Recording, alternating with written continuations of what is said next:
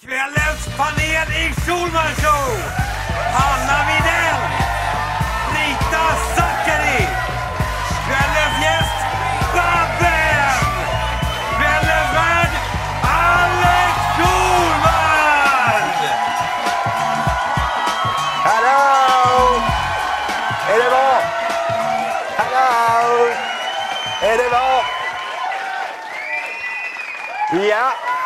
Håkan Juholt har ju avgått nu.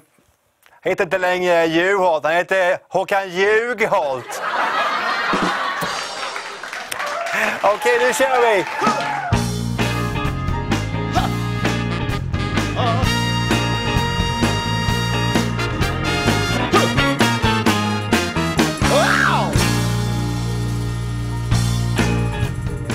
Hej och varmt välkomna till succéprogrammet Schumann Show på webb och på tv. På tv har vi just blivit avlösta av Magnus Bettner. Jag ska först säga välkommen också till Hanna Widell Tack! och Britta Zackari Tack. som är här för första gången tillsammans. Alltså vilket jävla tjejprogram det här är. Ja, det kommer ju in en tjej till eh, som ska vara där om en stund. Eh, har ni följt Magnus Bettner förresten i tv? Eh, hon hade ju alldeles före oss. Nej? Nej, jag, Nej, jag har missat det Nej, helt. det är- Jag, har bara hör, eh, jag har sett Twitterflöden när jag hörde honom prata om det på radio häromdagen. Eh, men det är det Mm. Han som jag gav ju oss en passning eh, i förra veckan. Åh, berätta om det. Ja, vi ska se på hur det såg ut. Så här såg det alltså ut när Bettner ville tisa tittarna eh, att nu eh, kommer Schumann Show. Varsågod. Femman har ju tjatat så in i helvete att jag måste göra reklam för Schulman Show som börjar efter programmet. Även fast ni då alltså missar min egen webbsändning. Men här kommer i alla fall ett litet eh, klipp eh, från Schulman Show där Alex just håller på att gå igenom detaljerna inför programmet med sin lillebror Kalle.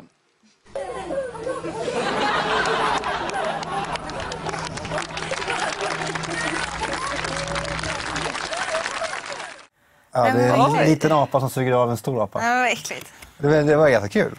Nej. Eller var jag hånfullt, elakt? Du, Du, jag du är inte illa berörd där, Britta. Nej, nej, men jag tycker, jag tycker djur och ligga, jag, ty, jag tycker det är krångligt. Ja, men det var ju ett, någon typ av hån eh, mo- mot oss. Ni är alltså två små apor. Ja. Ja. Men jag vill ju hylla Bettner. Det han har varit ett jättebra program. Eh, Så, Så jag rekommenderar alla något? att se på. Och om ni inte har gjort det så kan jag, då, jag tar ut en liten bit så att ni kan få en bild av hur det ser ut i detta, detta program. Han styr ju sin studio med järnhand och är en förebild för många, eh, mig själv också, när det handlar om att äga sin studio.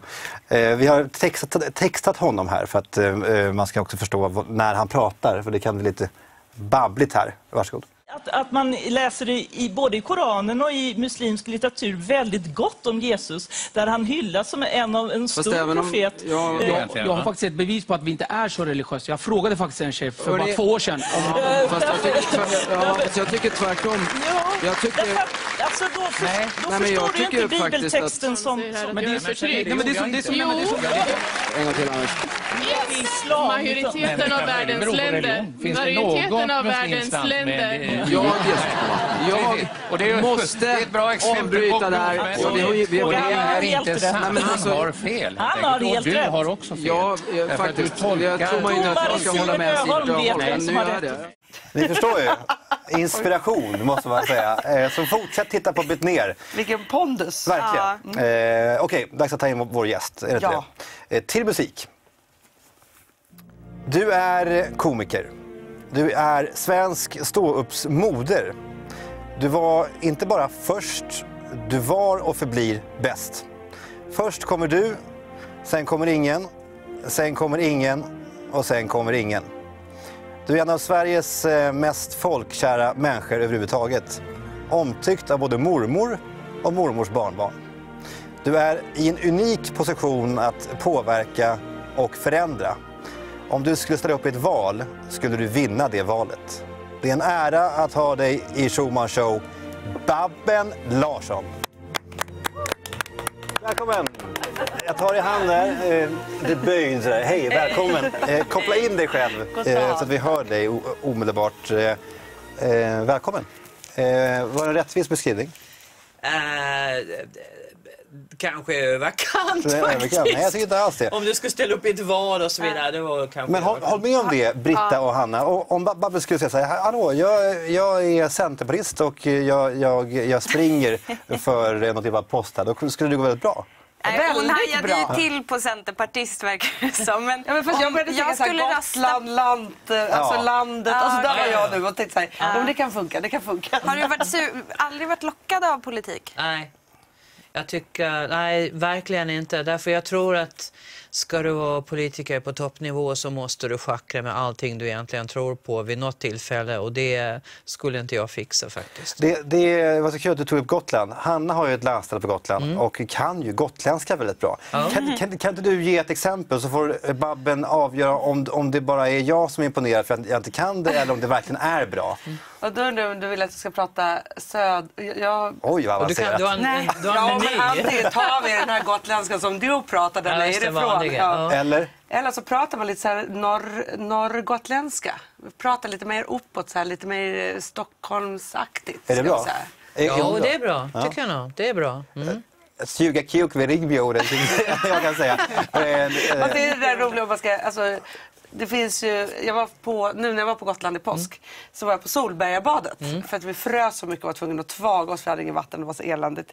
Och då var det ju alltså, kanske tio personer där och så vi och så var det massa gamla tanter där i, i omklädningsrummet. Och jag älskar ju den där för de bara pågår liksom, eller nu pratar jag fel, de är så här, ja men vadå vad ska du där, ja nej men jag ska, sen ska jag gå hem och baka och sen är det, och de liksom har den där som bara är liksom ett pågående gotländska som jag kan älska som är så här, mina barndomsgotländska. Alltså, alltså, blir du varm då i själen när, någon talar gott om Gotland? Det- Ja, det tycker jag är bra. Det är absolut. Sen finns det ju också en kategori sommargotlänningar som älskar eh, alltså Gotland mm, Mer än gotlänningar? Uber, Ja. alltså, och det kan bli lite jobbigt tycker jag. Det är, Det är så vi. fantastiskt på Gotland. Det, och så renoverar man sitt hus med kalksten och med lammskinn och, och, och, liksom, och så blir man skitsura grannarna kvar efter nitplattorna. och Fan. Du pratar om mig nu. Ja. Eh, för jag är också landställe på Gotland och Ja. håller på sådär, vurmar för Ja, ön. vurmar, ja. Men du, Eh, jag är ändå glad för våra rörmokare. Han brukar säga så här, "Åh, det är tur att ni stockholmare kommer hit och tar hand om våra gamla gårdar. Det är det, absolut. Det är Två det. saker slog mig eh, innan sändningen här som jag skulle vilja ta upp. Det första var att du gick och borstade tänderna eh, alldeles innan. Eh, Det reagerade vi alla på. ja, för, det, hon, för att Man kände sig här. själv lite skitig. Jag tänkte Ja, så här, jag kände själv och då kände jag att Babben inte skulle komma för nära Varför mig. borstade du dina tänder alldeles innan sändning? Det gör jag alltid innan jag har gig och innan jag går in i tv-sändningar. Därför att ehm, jag tror det börjar, alltså det har ju att göra med att tungan och tänderna och, allt, och saliven framförallt, det är mina arbetsredskap i vanliga fall. Och för att jag alltid ska få så likadant resultat så att säga, så skapar jag samma miljö. Så jag går och borstar mig med Du skapar dentosal. samma munmiljö. Som, Ja, precis. Pratar Och då du får jag... om du inte borstar tänderna? Nej, det gör jag inte. Jag Kan är, du två, det? jag är tvåspråkig. Ja, Ja. visst, jag kan byta mitt i en mening. Oj. Alltså när jag bodde i Göteborg så bröt jag ganska mycket på göteborgska och när jag bodde i Gävle så vart det mer öppna vokaler. Alltså jag, jag är en sån här härmape. Jag är väldigt, ja, kameleont. Så jag smitar in och liksom så, och så börjar jag på något vis anpassa mig efter min miljö. Ja, precis så är det. Det för jag är andra jag, jättedålig på dialekt. Alltså jag kan bara gotländska. Ja, men då, det, men det kan Men du kan det väldigt bra. det var, Ja, ja. men det, fast det är så här, upp, alltså nästan Ja, som men att man lite från Norrland. över det, tycker Ja. jag Det har vi absolut. verkligen. Det andra som jag slogs av, Ja. och svara då gärna på rikssvenska då, Ja. om, det går bra. Eh, det var att eh, du, du träffade sminktjejen Anna som vi tycker väldigt mycket om. Eh, och då fick du den här blicken som man alltid får när man är osäker på om man känner igen någon eller inte. Ja. Eh, och, eh, och hon ville då ge dig en kram och du sträckte fram din hand och det blev, det här, det blev ett socialt misslyckat Ja. eh, liksom, möte får man säga. Eh, eh, Jag tycker det är obekvämt Har du att lyssna på den och den möts. ja. Har du svårt att känna igen? Mm, Ja. eh, Mycket svårt för det. Ja. Du, Ja. du är ansiktsblind. Ja, eh, partiellt ska jag väl säga ansiktsblind i alla fall. Jag har eh, personer som jag bara träffar då och då och i väldigt specifika miljöer och så är de inte på plats. Ja. Eh, hade, hade hon stått på TV4 eller på SVT och vi hade jobbat ihop där tidigare, då hade det säkert eh, klickat. Men, men liksom, eh, nej, jag är ledsen alltså. Och jag träffar för mycket folk och det går bara inte. Det, Men- det, det är in här och ut där, eh, just ansikten och namn. Det är en som- jättebra kombination. Som eh, en känd person Ja. måste det vara väldigt jobbigt eftersom då har man en bild av sig att man kanske redan, alltså redan där är dryg och jävlig.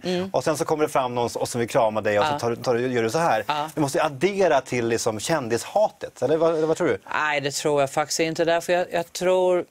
Jag tror inte jag är en speciellt dryg person och det tror jag inte att folk uppfattar mig som heller. Utan jag är rätt öppen med det här. Jag är ledsen, jag, precis som jag sa till henne, jag känner inte igen, jag är ledsen. Så Du här har är inte det. bestämt dig så här, jag kör alltid handslag. Eller jag kramar alla. Nej, alltså att man nej. kör någon sån här... Nej.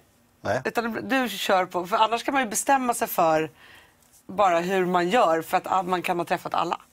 Nej, jag har ingen sån uh, approach-regel alls faktiskt. Utan de jag känner igen och som jag gillar och som jag har jobbat med tidigare och, och sådär, de kramar jag. Men, Men Anna, alltså, jag, henne... ja, men jag misstänker, alltså jag känner bara inte igen henne. Eller kunde Nej, inte men det placera är henne. jättesvårt. Ja, ja men, eh, det, det är klart. Men, eh, Men du samlar på pinsamma ögonblick så jag förstår att det här var en stor stund för dig. Jag samlar på, men framförallt när jag själv gör bort mig. Det är inte så att jag letar i andras fel, även om det Men också du är är kul. också exceptionellt dålig på att komma ihåg folk. Otroligt dålig. Alltså jag är... Eh, jag, Amanda skäms ofta över dig för att det är så här, det kan vara någon ni har ätit middag med för två veckor sedan. Ja, men det är precis så är jag också. Ja, men apropå eh, att, att hälsa och sådär. Det finns ju nå- någonting som är speciellt i det. Vi hade förra veckan i Schumann Show ett, en, ett stort collage av människor som misslyckas med eh, handskakning. Det var ganska kul. Det var kul. Alltså, Obama eh, står där och tar folk i hand på led och så är det någon som inte får handskaket som står där med en hand som hängande i luften. Det är ett jobbigt läge ju. Eh, det här hände nu igen i, bara i, i dagarna. Masters avgjordes och vinnaren då skulle få ta emot den här vinnarkavajen. Vi tar en titt på hur den handskakningen inte ägde rum. Oj, nej. Nej. Och så, så, mm, mm, så måste han parera genom att börja klia sig någonstans. Ja, och så här. klart. Ja. Ja. Eh, Jättejobbigt. Just det där, fast det var nästan som att han var van. Alltså, Det var som Ja. en rytmisk dans nästan. Först är det du och sen är det jag och sen tar vi nästa kille. Men det, det som var, det som var, ja, men det är alltid all, jag tycker sånt där är så otroligt eh, speciellt. Det- Därför så älskade jag när, när, när Anna gjorde så här och du gjorde så här. För det blir så minnesvärt på ett sätt. Jag tycker väldigt mycket om det här när Anders Björk försöker få plats i det här ledet när de går på bredd i något Ja. toppmöte. Ja. Och han springer från ena sidan till den andra och försöker pila emellan. Han ser oförtrutet väldigt glad ut. Att han kommer inte in i gänget. Det är en sån tydlig bild av att nej, han är inte riktigt med. De släpps inte in här. Och man tänker, åh stack. Mästare i må- måste ju vara Obama. Eh, härom, här förleden så, skulle han då, så gick han av ett plan, Air Force One, och skulle hälsa på Australiens premiärminister. Jag har det klippet här. Men jag vill bara först, innan vi, vi, vi, vi kollar på det, jag är väldigt inne på handskakningar nu som du märker, eh, låta er gissa. Hur många handskakningar, alltså hur många skak i handen tror ni att han levererade till henne innan han släppte taget? Ni, ni får gissa. Och den som då, eh, alltså så här, hej. Ja, ja, så här, Hur- hur många en, två, här? tre. Ja, 15 tror jag. 15? Ja. Fem tror jag. Det beror på, är det ett photo-up samtidigt så att säga? Nej, han går ner för, för planet. Det är och där Står det står press där? Ja, det, det, det står ju folk och, och fotar. 23. 23 tror du? Okej, det här är Obama och eh, Australiens eh, premiärminister och vi, vi håller koll då på antal skak. Nej.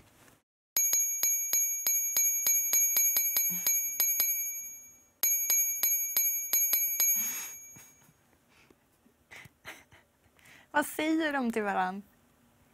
Nej. Vi har ju köpt ut på Gotland nu.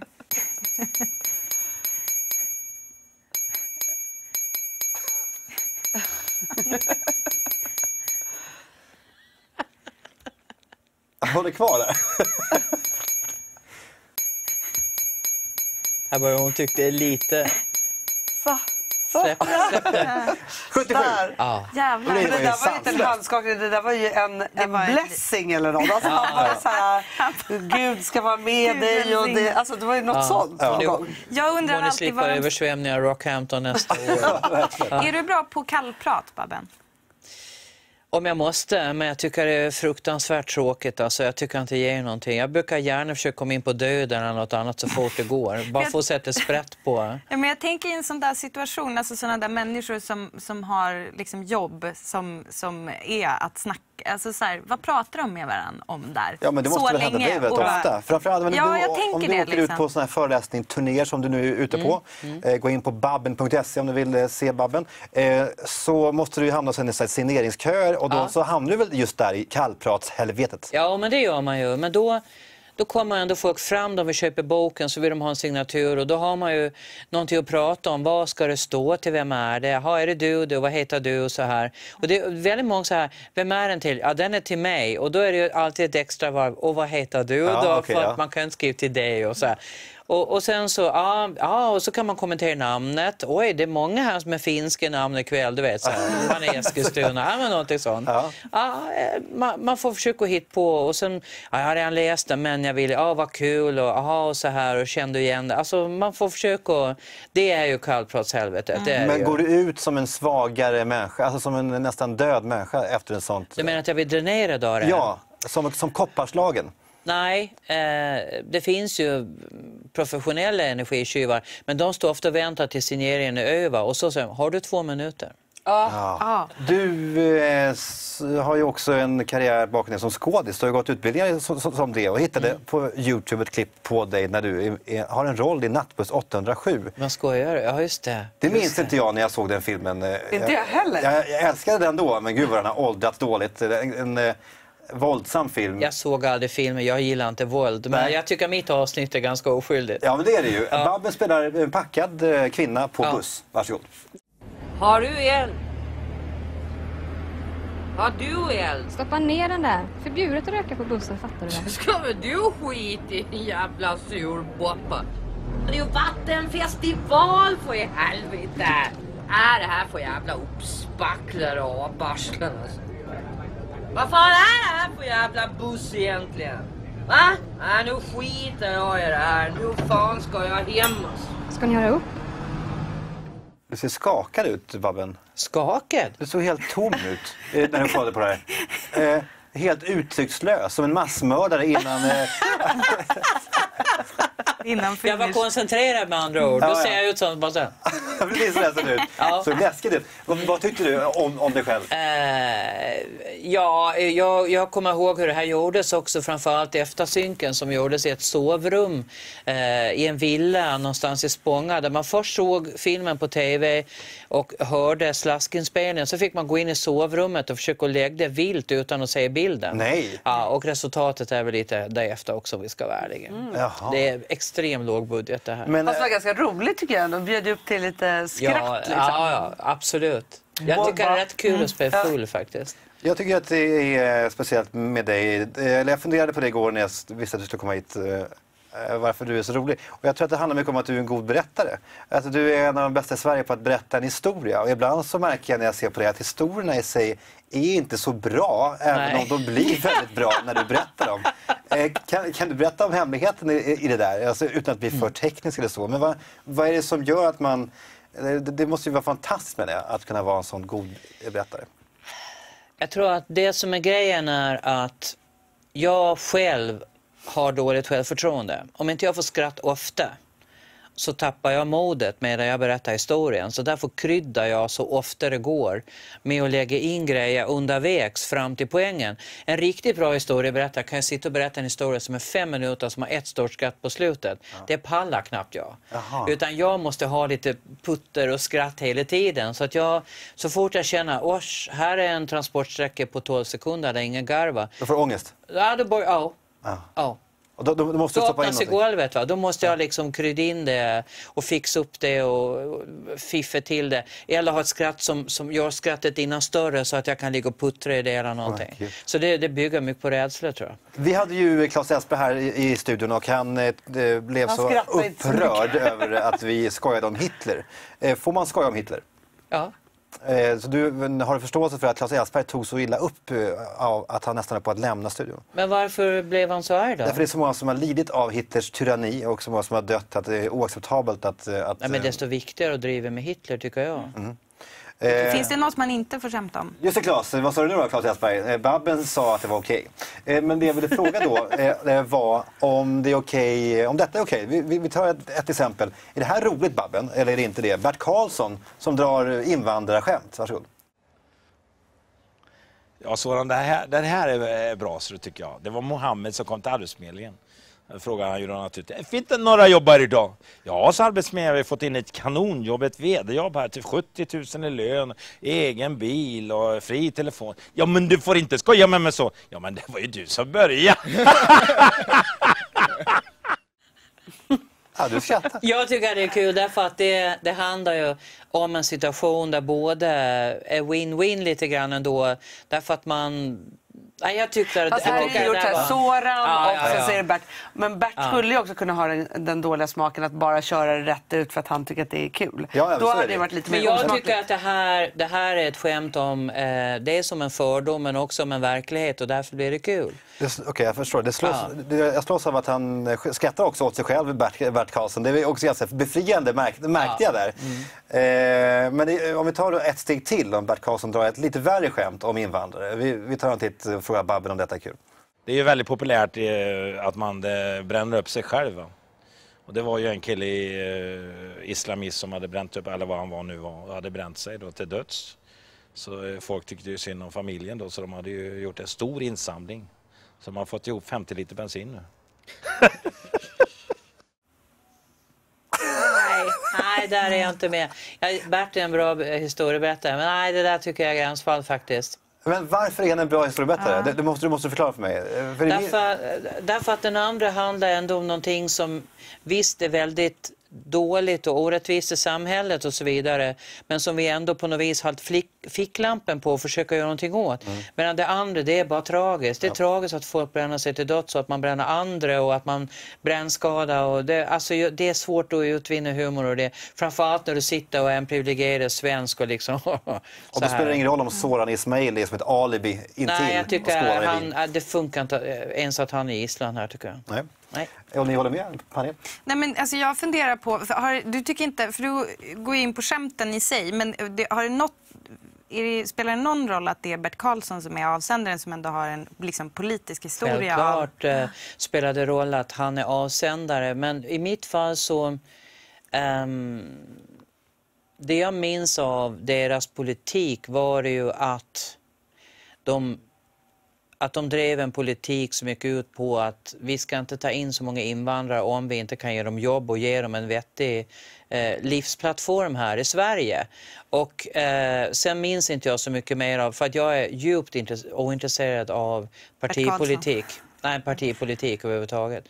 Så att jag har inte så bra koll på, men det kanske du har. Eh, Nej, jag har vad är det han har sagt tänk- som, som gör att du känner att, att, det, att det här inte är okej? Nej, men jag, alltså jag var så lite, det här var ju början av 90-talet och då Mm. var jag tio år. Så Mm. att jag, jag har liksom inte, men, men eh, jag, jag, i, mitt huvud, så, i min bok så känns ju Bert Karlsson så här, som att han, det där kan mycket väl som Hanna sa, att det kan ju vara så att tar man bort Soran och han sitter och drar de där skämten kanske liksom på någon middag och då blir det liksom inte, Nej, då kan är det, bli sant. lite blir annan, annan, en annan ton setting. i det. Ja, det är det. Mm. Eh, Jag tänkte man kunde eh, gå över till den ofrivilliga humorn i ett helt annat ämne här. Eh, Om vi är färdiga där? Det, ja, det Ja. känns... Ja, det dök rätt ner. Ja, bara, det gjorde det. Det blev lite Claes Elfsberg-stämning. Nej, det gjorde du inte alls. Nej, det blev det inte. Jaha, ska jag gå nu eller? vad är det? Nej, nej, nej, nej, nej. Vi, vi gör så här. Vi, gör så här. vi låter Bert Karlsson ta revansch med en sista skämt. Nu, nu kommer nu kommer vi skratta igen. Varsågod. Vi kanske ska ta någon negerhistoria här alltså? Va? Jo, det var ju så här, Safarirallyt i år hände ju en eh, fruktansvärd olycka. De körde på lokalbefolkningen, två stycken. En flög 200 meter bort och en hamnade under bilen. Det blev ju rättegång naturligtvis och det var ju en engelsk förare då, så det var ju ett jävla liv i tidningarna. Och eh, domen blev ju ganska hård alltså. Den som flög 200 meter åkte dit för smitning under bilen för försök till olaga intrång. Det var ju... Nej. Jag, gud vad lång, det var Jag- jag- jag inte Han med. satte inte punchen. Nej, det gjorde han verkligen Nej, inte. Han satte inte punchen. Men tror du att om, om Bert fick gå liksom några dagar i din eh, ståuppskola, skulle han vara en alldeles utmärkt ståuppare sen? Han, han är redan en ståuppkomiker. Jag har sett han köra sina dragningar. Liksom han, han är faktiskt väldigt duktig på just det. Det var han, han, han är bra historieberättare och han är, han är jävligt underhållande att höra på. Han är festlig även om det ibland blir, ibland blir det obehagligt. Allvarligt som det är. Ehm, Jag tycker det här är ju gränsfall också. Ja. Det är Han, är liksom... på, grä- han är på gränsen jämt. Ja, ja, han gillar nog det. Jag menar, han gillar att röra om i grytan och vara liksom... Apropå då gränsfall och att röra om i grytan så skulle jag vilja då, eh, prata lite om Efter tio. Eh, Malou von Sivers program, tittar ni på det ofta? På det programmet. Ja, men, ja, jag ska förklara varför. Babben, är, är du... Eh, Du brukar gå mutet på gymmet när jag är där på Okej, morgnarna. så du, du ser honom som en mimare som, Ja, som eh, bidrar och till då det? ser man väldigt mycket på språk och, och lite det här hon har ju ofta en sån här lite medlidsam blick tycker Ja. jag när hon sitter och intervjuar. Ja, hur kändes det? Ja, du, Och det just syns- det, du har ju gått igenom mycket här. Och, ja. Så det är Precis så är det. Ja. Och det är så kul då när hon skulle säga, göra en sån liten så här, påa, efter reklamen kommer det här. Och så kom då de här ögonen och det. Och så skulle hon berätta om ett bröllop då. Eh, och det, det var svårigheter mellan bröllopsparet. Men hon la på fel bilder i kontrollrummet så det blev väldigt konstigt. Vi, vi tar en titt på detta. Och alldeles strax så ska vi prata om bröllop. Ni ska få möta ett par som har haft eh, stora problem med, eh, i sina liv. Alkoholism till exempel, men även också eh, ADHD som den här kvinnan som kommer och berättar fick sent i livet, förstod att hon hade sent i livet. En oerhört svår resa fram till det. Alldeles strax. Vem blev skjuten i Alltså, tiden? men- Men vilken maximal otur att hon säger att det ska handla om bröllop och det handlar om ADHD och alkoholism och så visar de bilder på Daniel och Victoria. Alltså det kan ju knappt hända. Man såg också på hennes förvirrade blick eh, när, hon, när hon började flacka. eh, Och, Hon så. insåg att här har det hänt någonting. Hon Ja. måste ha sett bilderna. Ja exakt, hon måste ha förstått vad som hände. Vad var det värsta som hände dig på Babben och Company eller, på, eller liknande? Eh, har du varit med om några liknande tabbar? Nej, jag vet inte. Nej, vi band ju så att det är lite skillnad. Hon kör väl direkt. Mm. Nej, vi band så att... eh, Men det hände ibland att jag hade ju en inledningsmonolog i början och den var ungefär fem minuter stand-up och den skrevs oftast natten innan då så att den blev färdig så här vid tre. Och sen gällde det att sätta den där under nästa dag när man ändå har så mycket andra repetitioner med allt annat. Och då hände att jag kom in och så började det snett. Men då vet jag, då sitter det kanske 50 pers sammanlagt och precis har laddat för bandstart. Och så goofar jag och då känner jag, nej du får fan jobba dig in i matchen. Jag bryter inte här.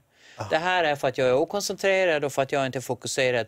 Nu tar vi fokus här. Så jag bröt inte de där. Det, skulle, det var väldigt lite att jag bröt för jag ville ha den här livekänslan. Ja. Och då räddar man en sån grej och så går man vidare. Och då kommer man ju starkt ur det Ja, det gör man Ja. ju. Därför att på något vis så, nej nu fan. Så jag tog det mer som ett tecken på att nu får du skärpa dig än att Nej, jag är ledsen, jag sa en snubbling där på gayet liksom och så faller, så går luften ur alla, Ja. så får du liksom, och det är som andra servar, de är aldrig lika bra liksom så att jag du är så försökte. proffs Babben. Jag blir Ja. så här, Gud vad jag ska skärpa mig. Alltså, nu, nu får jag bara skärpa till mig med olika det där saker. tror jag det är ju min bakgrund som ståuppkomiker också. Att du, det, är bara, det, är bara, det är bara framåt som gäller. Liksom. Vad jag tar det här som tecken på när jag snubblar och börjar tänka på det, det är nu är jag i fel hjärnhalva. Därför att då är du plötsligt i analysdelen medan du står och kreerar och det funkar inte. Så vad jag måste göra det är att ta mig tillbaka till den kreativa hjärnhalvan och vara där och skapa mitt program. För försöker jag samtidigt att se det utifrån, då är jag i fel hjärnhalva. Då jag, det ser jag det med en halv sekunds fördröjning och då till slut så skenar det ifrån mig. Är ni med på vad jag menar? ja. Men det så är ju- jag är väldigt så här att jag måste vara i rätt hjärnhalva. Det är också när jag skriver. Jag har enorm prestationsångest när jag skriver. Men då säger jag till, till kritikern som jag alltid sitter på axeln och är färdig och slår klorna i det man har gjort. Och oftast efter tre rader, det där var väl inget kul liksom. Och, så här. och då säger jag, nu får du hålla käften för nu först skriver vi och sen analyserar vi. Men Och när du ska det- ösa fram skämten då, var är du då liksom? För det är också det där Då dammsuger jag eller klippa gräs eller, eller gå ut med hunden. Då kommer skämten tycker jag. Men när du sätter dig med ett vitt papper då kommer det fan ingen skämt. Däremot så, jag har tusen små lappar som ligger i en plastficka där jag stoppar ner dem efterhand. Och sen ibland då någon gång i halvåret så sätter jag mig och skriver rent dem på dator, parar ihop dem eh, ämnesvis och så plötsligt så har man en rutin. Det kan vara intressant att att ta med oss det in i nästa ämne. Mm. Eh, Jag undrar om ni kan avgöra vilken del av hjärnhalvan som var aktiv när man skapade den här reklamfilmen för Scion, en ny bil som heter IQ. Eh, som är kanske det mest sexistiska jag har sett på flera år, flera decennier kanske i tv. Varsågod. Ja, du är jobbig med reklam, Britta. Ja. Kan du förklara lite grann hur... När jag kom på det här. Jag är fortfarande åksjuk från liksom, titeln. Eh, nej, men det är väl... Eh, Hur, hur tänkte alltså, du när du skrev copy? Hur jag tänkte när jag skrev copyn till den här fantastiska kampanjen. nej, men här, nej, men det är ju ganska enkelt. Br- Brudar, sex säljer. Det är bara synd att folk har den dåliga smaken att liksom göra det sådär. Alltså jag, kan jag kan tycka liksom att när, när, som de, har ni sett de här Old Spice-reklamerna med han? Det är ju liksom en snubbe med tvättbräda och sånt där. Men det är ju ändå sjukt mycket humor. Ja. Så då tycker jag liksom att man kommer undan med det. Här är, varför jag har de bikini? Vad Det- tycker man du, Babben? Ja, vad fan ska jag tycka? Jag skulle... Det är bara så jävla dåligt. Ja, men blir du upprörd eller bara, då, då, då kan jag inte ens ta in det? Alltså om jag ska orka och bli upprörd över det där, då... då nej, faktiskt inte. Men det är inte någon gång man ska bli upprörd så är det väl för sånt där. För att, för att kunna göra någon, för att skapa någon typ av förändring.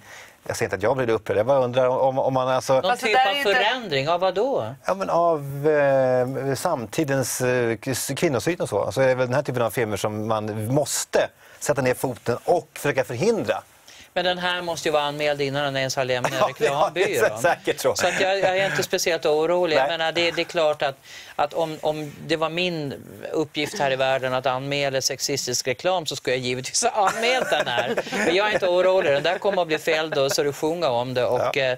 Eh, men det är klart, jag kan ju gå och skjuta killen förmodligen som har gjort den också. Men, men då får jag sitta i fängelse. Jag tycker inte det är värt Det är inte värt det. Men han är värd det. Eh, jag förstår. Så kan man säga. Det var- Men man kan vara säker på att det är en snubbe som har gjort det i alla fall. Det kan man det verkligen? Ja, det var möjligen. Det var inte menat som någon kritik mot dig. Du får inte, Nej, nej, jag tar det du inte så sur där. Eh, det- Alltså, inte bli som Claes Elfsberg var när vi pratade om Nej. Hitler. Så behöver det inte bli. Men du är så traumatiserad av att han höll på att gå härifrån. Ja, men det var hemskt för att man, eh, jag, jag tog ansvar för stämningen på något sätt som jag... eh, Men det ska du göra, du är programledare. Ja, och då var det mitt fel att han Ja, ville gå härifrån. Ja, och då, då förstår jag att jag inte tyckte att det var så kul när jag såg att han, han letade med blicken liksom mot utgången. Ja, Du kom ut därifrån. Det var inget kul. Hörrni, det var 100 år sedan eh, Titanic förliste, det vet ni ju. Eh, det, det firas ju nu på konstiga sätt. Man åker på eh, såna här replikabåtar och äter middagar som dem och sådär. Och man kan gå på, på museer och sådär. Har, har ni följt med det här? Bryr ni er ett skit om Titanic? Ja, men idag var det väl en löpsedel om svenskarna som var på Titanic va? Ja, det är väl- Eh, så, så de kör ju stenhårt med det. Bryr ni er? Eh, Babben? Nej. Eh, vet jag. Inte jättemycket nu. Eh, det, det, det, det kan man förstå att det var, det var länge sedan. Och så. Eh, Kan vi prata om Jag det? Du ska på en sån där båttur, Ja, eller hur? jag har precis bokat. Queen Elizabeth Ja. II. Jag ska visa upp ett klipp Ja. eh, från Titanic-filmen som ni alla har sett och älskar, antar jag. Ja, älskar den. Ja, bra. Ja, Mycket bra. bra. Jag älskar. Eh, och eh, i samband med att det nu kommer ut en ny version då, eh, på det här eh, 3D. i 3D så har de då ändrat en, en felaktig sak i just det här klippet som blev helt fel. Och nu ska ni lista ut vad det, var som inte, vad det är som inte stämmer i den här Är det här scenen. gamla det här klippet? gamla Det här är alltså från det gamla. Okej. Okej. Vad är det som togs bort och ändrades till det nya? Varsågod.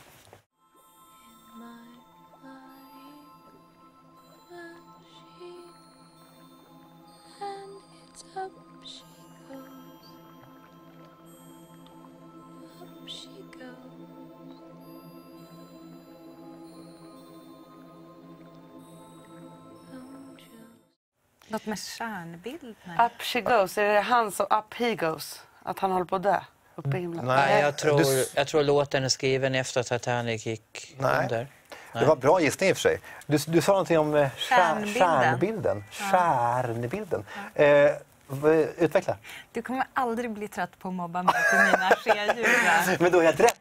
För stjärnbilden är fel. På den lagituden och så, här, bla, bla, Ah. så kan inte stjärnbilden se ut så här. Lagituden? Eh, longituden. Vad sa jag? Longitud eller latitud, Ja. men lagitud...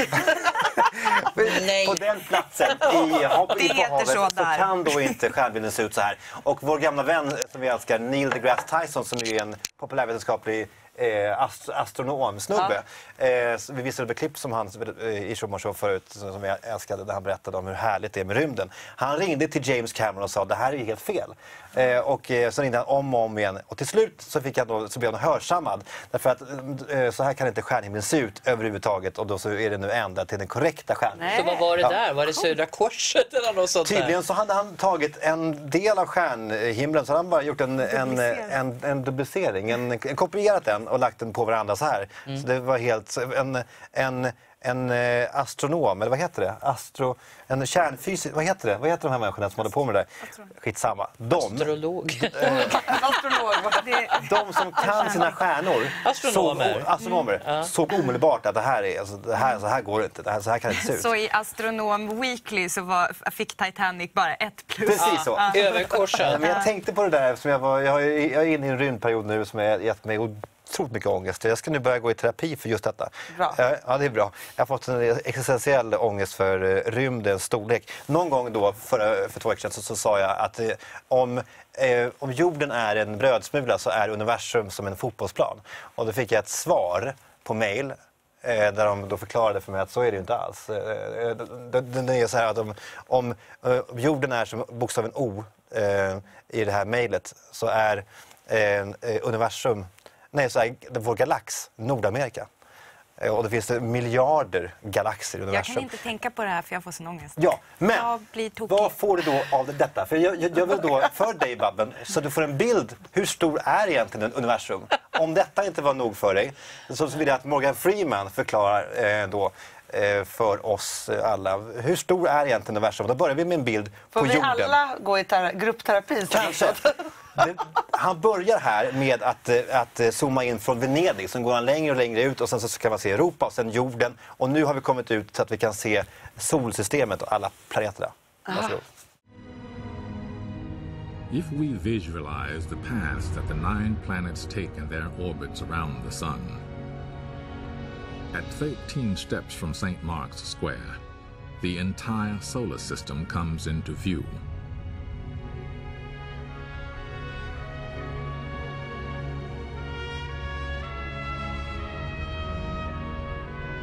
And with 15 steps, 15 powers of 10, we can see that our sun is just another star.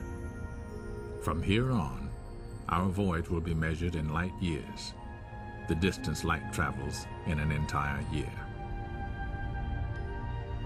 Only now do we fly past our nearest neighbor stars, almost five light years away. The same journey at the speed of today's spacecraft would last 100,000 years.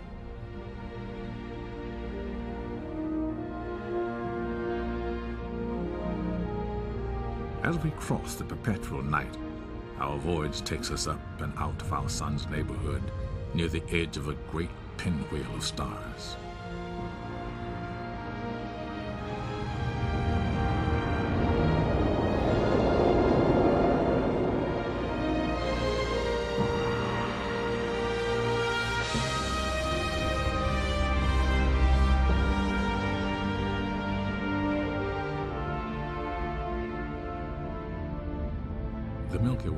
Actually a spiral galaxy, and our own sun is just one of a hundred billion stars in it. At this immense scale, 23 powers of 10, each shining light we see is not a star, but an entire galaxy, composed of countless stars.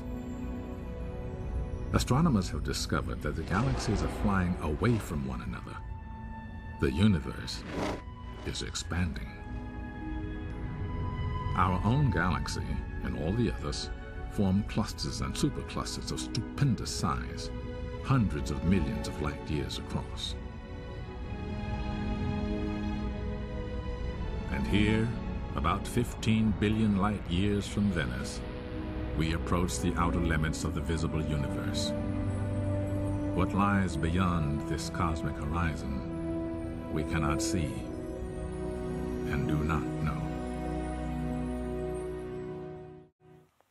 Ja, det är ju fruktansvärt detta. Är det, Alltså, jag- Babben? Nej, men alltså, jag, jag tror att du får panika det här, det är för att du är en kontrollmänniska. Det här är ju bara att ge upp inför. Så här är det. Och det är hur jävla stort som helst. Och vi kan inte mäta och vi kan inte veta. Man måste bara ge upp och säga det är en välsignelse att jag får leva och att jag får vara här. Men vi är ju bara någon slags loppar på någon gigantisk elefant. Stör inte det dig? Alltså? Nej, inte alls. Jag tycker det är rätt fantastiskt faktiskt. Det var skönt sagt tycker jag. Babben. Men jag, alltså, det där ger mig så mycket ångest att jag håller Men det är på för att att... du vill kontrollera det här, du vill mäta det, du vill veta. Men det går inte. Det som jag känner när jag ser detta, det är dels då så får jag ett perspektiv på min egen litenhet, då, min egen obetydlighet. Och den är ju såklart jobbig att eh, handskas med. Det är det första. Eh, Men det kan man ju kanske göra. Eh, Det andra är ju då att när man ser detta, då kommer man in till en ny typ av meningslöshet. Alltets meningslöshet. Alltså det är inte bara mitt liv som, som är det, utan allting är ju fullständigt meningslöst. Alltså hela universum. Varför, Ja, eller meningsfullt. Du Ja. bestämmer ju själv. Ja. Varför känner du att det är Nej, men jag, meningslöst? jag börjar känna så här, ja, där har vi det.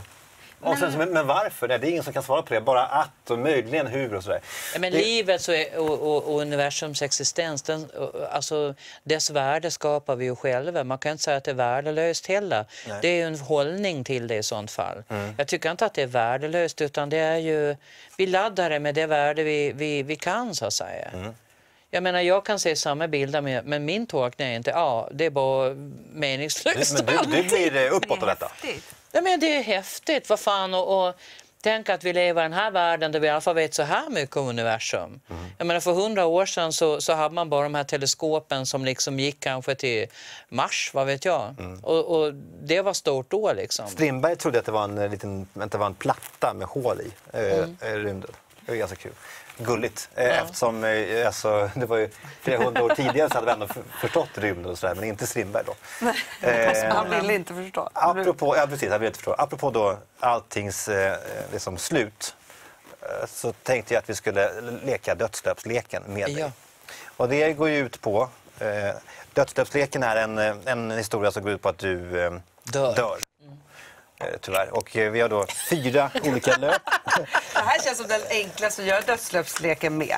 Mycket Eftersom du ofta vill prata om, om lek eller om döden och Ja, sånt. ja, jag, har inga, jag har inga problem med det. Nej. Eh, Nu är det bara att välja sätt helt enkelt. Ja, välja sätt och välja också hur det blir som presenteras då i medierna. Mm, Och du har fyra alternativ och så får du välja en av dem för att ta hem och ha på toan eller så. Ah, okej. Ja. Och det här är då lite ordvits med ditt yrke. Eh, stå uppare blev lignerare. Eh, populära komikern Babben eh, avled i sitt hem natten till torsdag. Inte så farligt va? Nej, men det här med avled i sitt hem, alltså man vill ju gärna dö på spektakulärt Hur då? då? Berätta. Att somna in i hemmet! Nej men så här, som när man var på, på safari och man höll på att få en sån här stor elefantbajs i huvudet. Ja. Det är vad jag kallar en lite mer spektakulär död, mitt i steget så att säga. Just det, fick elefantbajs i huvudet. Babben död, det hade varit bättre. Babben död i bajs och lycka i Afrika. Kanske att det kan bli någonting då. Eh, ja, det här är i alla fall mer spektakulärt. Mm, Också lite ordvitsande då. Om man tänker sig att en eh, rubriksättare, löpmakare, inte har liksom, känsla nog att avstå från ordvitseri ens när någon är död. Eh, tabben som fick Babben att hålla flabben. Komikern tappade hårfönen i badkaret. Eh, avled omedelbart. Spektakulärt. Ja. Ja, ett alternativ. Och det här är då, om man tänker sig att du är också ordvits, eh, kebaben matförgiftad. Eh, ja, ja, dog utanför gatuköket Det där känns mer som en kicky, jag vet inte. Jag kanske Ja, det är kicky, ja. ja, lite mer kicky på något sätt. Eh, Jag ser väldigt glad ja, ut. du har ett leende. Ja, Här var du på väg till, till eh, gatuköket för att få... Matglad. Matglad. Och då till slut, eh, en ordvits med det gotländska. Ja. Eh, Babben under Jordi. Eh, den omtyckta komikern föll från ringmjoren. Dog omedelbart. Den är bra. Den tyckte du nästan I, bäst I like, yes, I like. Är det här den som du då väljer att ta? Eller? Eh, vi ska se, får jag, bara, får jag en snabb repris? Mm. Babben under Jordi. Ja. Eh, sen har vi då eh, Ståuppare lignerare. Den var inte så kul tyckte du. Eh, Stilla ja, och sen är det tabben som fick Babben att sålla flabben. Ja, nej, nej. Nej, nej, jag, jag tycker Onda Jordi är klart roligast. Under, under Jordi. Ja, Babben Onda Jordi. Tack för att du var med i dödssläppsleken. Bra omgång. Ja, det var en bra gång. Ja, Ja, det var kul. Det var, det var väldigt tacksamt. Eh, vi, vi ska ha en Har du gjort dem själv? Jag och min brorsa Kalle brukar alltid sitta och författa dem Ja. ja. tillsammans. Eh, innan vi går vidare till tvångsfrågan som idag kommer att på nytt födas Mm. någonting fantastiskt efter förra veckans totala fiasko. Av Då var inte jag här. Nej. Eh, Vadå, du gjorde fiasko förra veckan? Jag tyckte... Jag... Så vill jag bara, eh, vill jag bara helt eh, kort fråga er om ni har sett de här när, innan det kommer på ett nytt program på TV4 så har de så här profilfilmer på 3-4 sekunder där de visar upp sina profiler skenheligt leende. Det ser ut som, det ser ut som ett dårhus där det vandrar omkring leende galningar. Med Har ni- röda grejer. Har, har ni följt detta? Har ni sett det här? Ja. Vadå, är det nya saker? Eller men de det- som alltid är? De går bland draperier och, Ja. och ut genom fönster och så. Ja, de springer på varandra och Det är skrattar. Och allting är bara, eh, det är som så vidrigt lyckligt att jag, det, det kliar i mig så jag vill klia upp liksom gamla eksem och sånt där. Eh, så kolla på det. Eh, för möjligen kan det vara så att den här korridoren där allt det här händer är, är helvetet. Varsågod.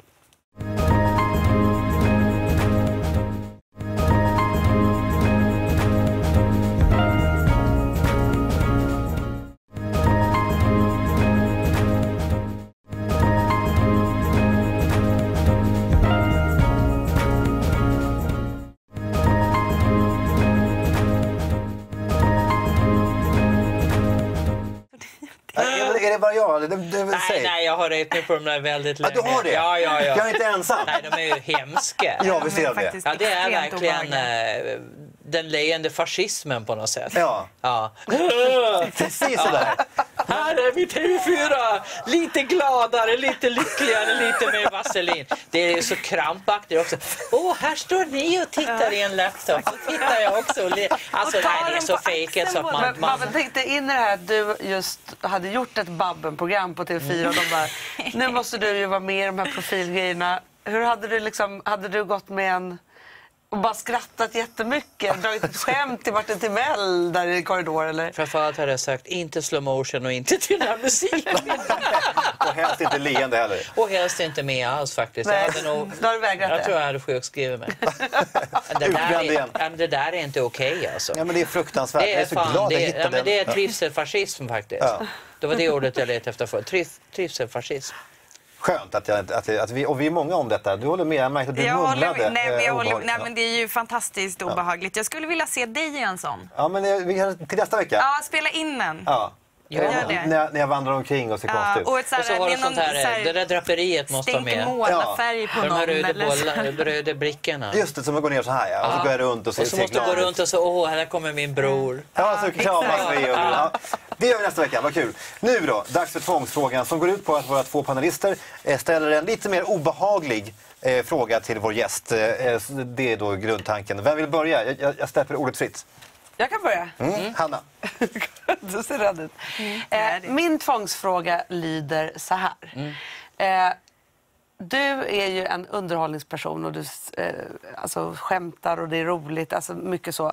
Och sen så känns det som när man läser så här, utbrändhet, terapi, missbruk så är det ett sånt bråddjup där. Hur ser den kombon egentligen ut? Eh, den, den är bra därför att jag tror att ingen höjd utan djup och ingen bredd utan, alltså ingen bredd heller utan att det finns det där bakom. För jag får ihop det i alla fall. Eh, mitt liv har inte alltid varit en dans på rosor men min över, eh, överlevnadsstrategi har alltid varit att jag ändå kan distansera mig till väldigt mycket av det jag varit med om och att jag kan eh, ha eh, just den här sättet att se det roliga i situationer även om det inte... Jag sitter just nu till exempel och skriver en grej om min pappas begravning. Ingen rolig situation men det kan ändå bli humor. Och det där, det där är väldigt mycket jag tror jag. Det är... För du är ändå också väldigt Mm. öppen med... Jag läste en artikel just om, där du pratar väldigt öppen om, om ditt eh, sockermissbruk. Eller, och det är så här, jag Det var det du talade om. Jag fattar inte. Vad, jag tror, sa, är he- heroinist eller någonting? Ja. Jag missade Nej, det är det missbruk. Ja. Nej, men just, och, och jag älskar eh, alltså, eh, alltså, offentliga personer som vågar prata om det jobbiga. För det gör ju allas, alla, alla andras liv lite lättare. Det är så här, man är liksom inte ensam, man får tips. Och det, alltså, det finns någonting väldigt schysst i det tycker jag. Och du är så här schysst och delar Bra, med det dig. var en tvångsfråga som blev, eh, som, blev, som utmynnade i beröm. Jag tyckte om det där ändå. Det var ingen, ingen kritik nu, Hanna. Nej, Nej, jag märkte att du nej, blev bra. liksom så här ledsen där. Eh, är vi nö- nöjda så? Eh, ja, absolut. Okej. Ja, det var ingen fråga till slutet utan det var en komplimang. Ja, komplimang. så. Ja, Då så. okej. Eh, två plus godkänt tycker jag den får. Och då är det dags för Britta att höja detta till en fyra kanske. Nej, men det kommer jag inte göra. Nu men, kommer den. Nej, men jag, jag, det tangerar, eller jag tänker så här, vad, jag har funderat på hur du ser på hur det kommer sig att du skämtar så mycket om ditt utseende. Eh, därför att det är eh, formulär 1A inom komiken. Ta det som är uppenbart med dig själv och skämta om det. I är det mitt inte fall... enkelt då? Ja, det är enkelt. Men när var du såg min show senast? Det är inte speciellt mycket om mitt utseende just nu kan jag säga. Har det Utan jag- förändrats Ja, alltså det glider hela tiden. Man stoppar in nytt material. Nu pratar jag om återvinning och sopsortering och uh, dating och, och det är inte åt det hållet utan men sen är det vissa punkter där jag liksom använder det som ett av många ben. Alltså man ska stå på komiska ben och då har jag att jag är överviktig, att jag är kvinna, jag är tyvärr ett ben fortfarande och är komiskt tacksamt, eh, att jag är från landet, att jag är gotlänning, eh, att jag är frånskild, att jag är mamma. Så man har olika ben. Och så händer det Defekter någonting. nästan. Ja, defekter eller egenskaper som är komiskt tacksamma. Då, då väljer jag ut de mest tacksamma. Och sen när någonting händer, då kan man utifrån, jag är en frustrerad frånskild, ja då kan formen på den här plötsligt bli humor, förstår du? Eh, Och att kan få ta med den där på nästa turné kanske, för att med lite vaselin tror jag. Ja, i alla fall. Så att liksom det är ju så, man tar det ben som man liksom passar bäst just då. Ja. Babben, tack för att du eh, var med. Och om ni blev sugna på mer Babben så finns det då, du åker ut på föreläsningsturné vet jag. Eh, eh, Stämmer. Och det finns på din hemsida babben.se där man kan ta del av detta. Men framförallt, eller inte framförallt, men du kommer också göra en ny show på Rival i höst. Ja, och det kommer kommer bli kul tror jag. Ja. Eh, kan man köpa biljetter dit redan nu? Det är biljettsläpp på måndag. På måndag? Fan, vilken jävla timing. Kan man gå Eh, på kurs hos dig fortfarande? Ja, det kan man göra. Åh, gud vad jag vill göra det. Ja. Vi gör det! Gå på kurs, köp biljetter och gå på föreläsningsturné. Eh, Bara utnyttja mig! Ja, Energitjuvar överallt! Vi tappar den där i betalning. Kaching, kaching. Ja, precis. Precis. Och den ja. Mm. Oklart vem som är gäst nästa vecka, men det kommer i alla fall bli en gäst. Vi finns på Schumann Show på Twitter och på mail eh, som står här. Vi ses om en vecka. Hey.